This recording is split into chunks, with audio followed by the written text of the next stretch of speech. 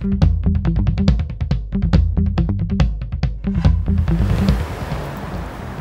gibt immer wieder Leute, die behaupten, in der aktuellen Corona-Krise säßen wir alle in einem Boot.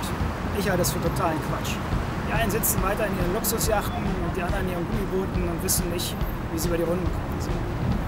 Deswegen müssen wir viel mehr tun, dass in der aktuellen Krise niemand zurückbleibt und auch niemand vergessen wird. Und ich denke da zum Beispiel an diejenigen, die auf Kurzarbeit null sind, die zurzeit von 40 Prozent weniger netto irgendwie leben müssen, brauchen dringend ein höheres Kurzarbeitergeld. Ich denke an die Solo-Selbstständigen, die ihre Aufträge von heute auf morgen verloren haben. Die brauchen eine dauerhafte Garantie, dass sie nicht aufs Amt müssen und nicht von Hartz IV abhängig werden.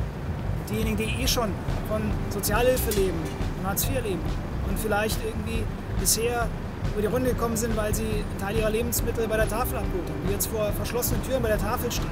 Auch die brauchen einen Zuschlag auf Hartz IV, damit sie einigermaßen irgendwie durch diese Krise kommen, niemand zurückgelassen wird.